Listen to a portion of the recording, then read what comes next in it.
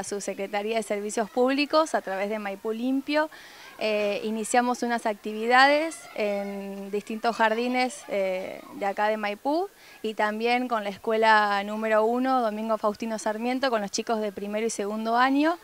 lo que buscamos con estas actividades referidos al tema del agua es en primer lugar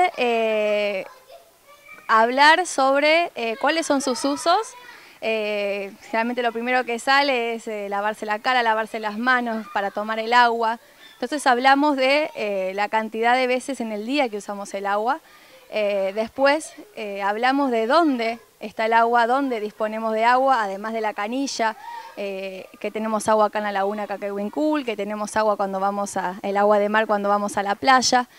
pero que todo el agua que tenemos a nuestra disposición no se puede tomar el agua de un charco no se puede tomar, el agua de mar no se puede tomar. Entonces lo que los nenes terminan entendiendo es que por más que haya mucha disponibilidad de agua en el planeta, es muy poquita la porción que se puede tomar y por eso hay que cuidar el agua, para que nosotros y para que los demás eh, nenes y personas del mundo puedan seguir tomando agua. Eh, también vemos un video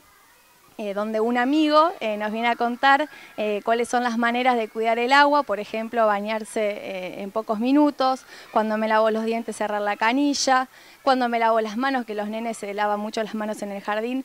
también cerrar la canilla. Entonces, en la jornada lo que hacemos es hablar del agua, cómo podemos cuidar el agua y después finalizamos con unos dibujos donde pintamos a un, a un nene también lavándose los dientes con la canilla cerrada y después otra persona que está pensando que cuando va a lavar el auto hay que usar el balde y no hay que usar la manguera. Eh, también lo que le pedimos a los nenes y lo que, lo que buscamos es que el dibujo y todo lo que se habló eh, se lo lleven a la casa para que lo compartan con sus familias y que si hay alguna gotera en, en nuestras casas la arreglemos porque a uno le parece que es una gotita, pero en realidad son 30, 40 litros de agua que se pierden con una canilla, con una gotita, es un montón. Eh, así que bueno, la semana pasada estuvimos en el Jardín Mauro Golé, estuvimos en la escuela número uno. Eh, esta semana estuvimos en la escuela eh, normal, Emilio Valentina Lavedra, y acá nos encontramos en el Jardín Primavera. Así que muy contento, los nenes les gusta, les gusta mucho y se van todos como muy convencidos de que, de que hay que cuidar el agua y es lo que estamos buscando, porque Maipú limpio no es solo residuos, es también agua, eh, es también cuidar eh, la luz, es cuidar todos los recursos que tenemos y por eso buscamos la manera de educar y hacer trabajo con los más chicos, eh, que enseguida ellos lo aprenden y una vez que, incorporan un hábito lo hacen para toda la vida. y bueno, y ya que nos están viendo toda la comunidad, también los invito a cuidar el agua,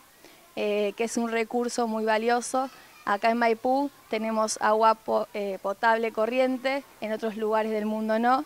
Eh, y esta actividad también eh, la hicimos con APSA, que nos accedieron material para el material que los chicos dibujan y lo que estuvimos entregando nos lo acercó APSA. Así que bueno, muy contenta, los chicos, muy lindo trabajar con chicos y bueno, muchas gracias.